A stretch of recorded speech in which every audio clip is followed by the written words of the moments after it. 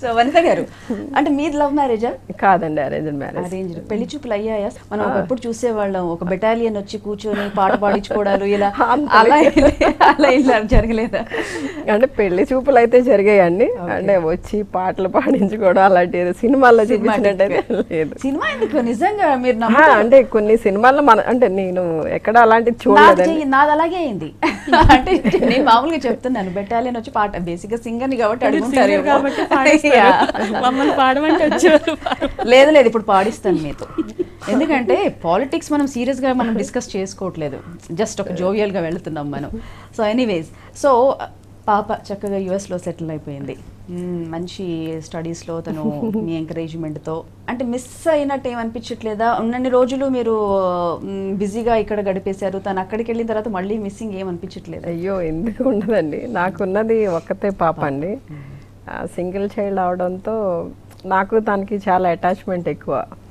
ప్రతిదానికి ఇంకా మమ్మీ అంటూనే ఉంటుంది అనమాట అంటే ఫస్ట్ స్టడీస్కి పంపించాలని మా వారిది ఎక్కువ ఇంట్రెస్ట్ అండి.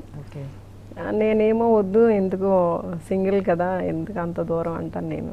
కొంచెం వదిలిపెడితే కదా బయటకు వెళ్ళి తెలుసుకుంటారు నేర్చుకుంటారు అంటే సరే కన్విన్స్ అయ్యాం. ప అంతా అరేంజ్ చేసిన తర్వాత బయలుదేరాం అంటే నేను కొంచెం భయపడుతున్నానని తీసుకువెళ్ళి అక్కడ చూపించి తన అకామిడేషన్ ఎలా ఉంది కాలేజ్ ఎలా ఉంది అన్నీ చూపిస్తే నేను కొంచెం ధైర్యంగా ఉంటానని అడ్మిషన్కి వెళ్ళినప్పుడు ముగ్గురం కలిసి వెళ్ళడం జరిగిందండి. ఓకే.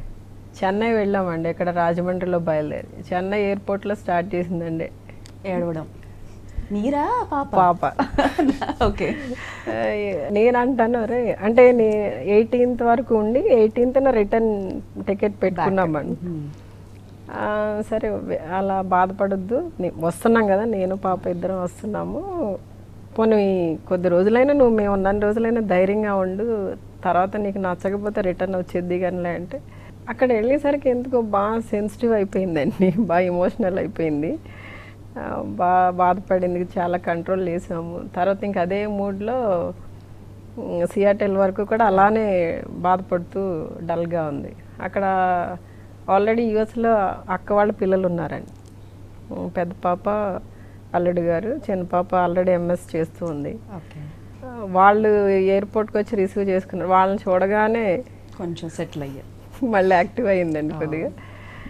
ఇప్పుడు ఈ రోజున మళ్ళీ తన్ని హాస్టల్లో పెట్టి ఒక టూ డేస్ వీళ్ళు అబ్జర్వేషన్లో ఉండి తర్వాత వెళ్తారనమాట వాళ్ళు ఉండేది నార్త్ డకోటా అండి. అంటే వాళ్ళు ఉన్నారు అనేది కొంచెం ధైర్యం ఉంది.